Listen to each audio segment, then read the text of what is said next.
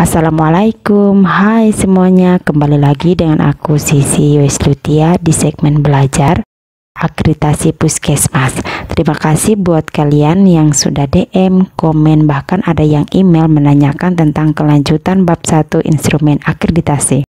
Dan terima kasih juga buat kalian yang sudah subscribe. Dan yang belum subscribe mohon supportnya ya karena subscribe itu gratis Kali ini kita masih membahas bab 1 Pokja Admin. Untuk standar 1.2 dengan elemen penilaian 1.2.1.1 ditetapkan jenis-jenis pelayanan sesuai dengan peraturan perundangan dan pedoman dari Kementerian Kesehatan untuk memenuhi kebutuhan dan harapan masyarakat. Yang harus disiapkan adalah SK Kepala Puskesmas tentang jenis-jenis pelayanan.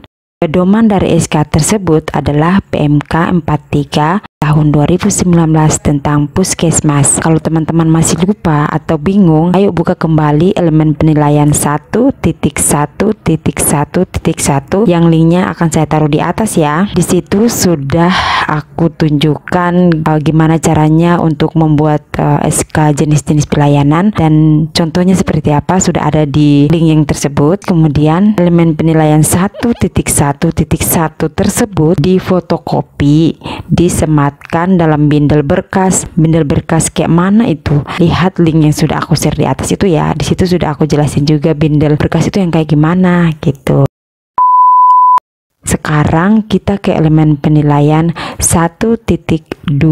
1.2.1.2 yaitu pengguna pelayanan mengetahui jenis-jenis pelayanan yang disediakan oleh puskesmas dan pengguna pelayanan memanfaatkan jenis-jenis pelayanan yang disediakan oleh puskesmas.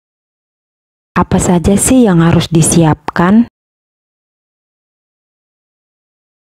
Nah, yang harus disiapkan adalah adanya brosur, flyer, papan pemberitahuan, poster yang berisikan tentang jenis-jenis pelayanan yang ada di puskesmas. Bahan-bahan tersebut difoto kembali. Jadi kita seperti uh, kalau sudah ditempel papan pemberitahuan, difoto tuh si papan pemberitahuannya. Kalau posternya sudah dipampang atau diberdirikan atau ditempel, bisa kita foto kembali si poster itu. Jadi kita kayak nggak kerja dua kali gitu loh Nah, di foto kemudian di print, lalu ditaruh di bindel berkas. Nah, kalau teman-teman masih bingung uh, seperti apa ini brosurnya atau dapatnya dari mana atau kita bikin lagi atau gimana, gampang aja kok. Kalau untuk standar 1.2 ini itu kita mengutip dari apa yang ada di elemen penilaian 1.1.1.2 Ya, linknya itu yang sama kayak tadi. Nah, untuk standar ini sangat jelas ya, karena kita hanya ngambil yang ada di elemen sebelumnya yang disematkan ke standar 1.2. Segitu aja dulu dari saya. Terima kasih banyak. Sampai jumpa di segmen selanjutnya. Wassalamualaikum.